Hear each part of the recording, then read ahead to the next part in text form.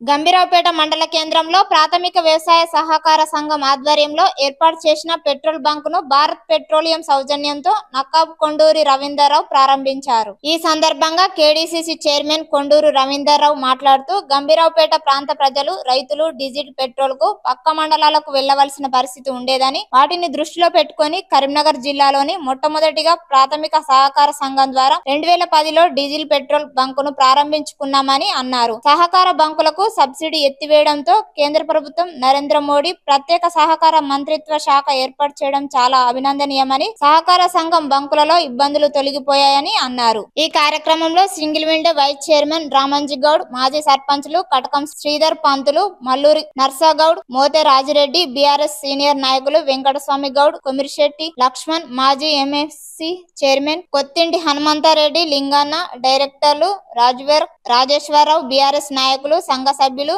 ఎగదండి స్వామి వేణు సహకార సంఘం సిఇఓ రాజిరెడ్డి సిబ్బంది రైతులు తదితరులు ఉన్నారు. ఈ petrol pump petrol diesel.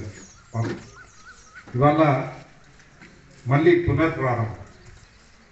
ఇప్పుడు ఇది ఒక రీటైల్ అవుట్లెట్గా తయారైపోయి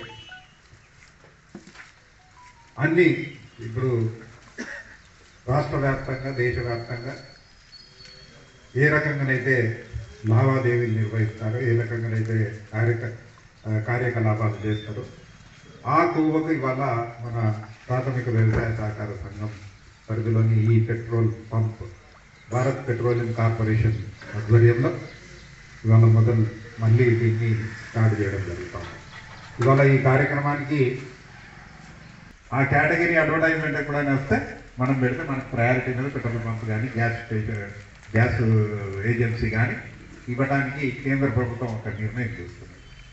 చాలా గొప్ప నిర్ణయం. సహకార వ్యవస్థ ఇవాళ బ్రహ్మాండంగా ముందుకు సాగడానికి సహకార వ్యవస్థకున్న పట్టు ఇక ఇక్కడ రాజకీయం లేదు.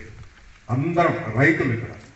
సహకార సంఘ సభ్యులు ఇవాళ రైతాంగంతో పాటు వారి కుటుంబ సభ్యులు అందరికీ కూడా అనేక సేవలు చేస్తూ ఉన్నాం కాబట్టి ఈ మంచి గుర్తింపు ఇవాళ పంపులన్నీ ఓపెన్ అవుతా ఉన్నాయి ఇవాళ మూడు పంపులు మనం చెప్పిన నలభై రెండు పంపులు.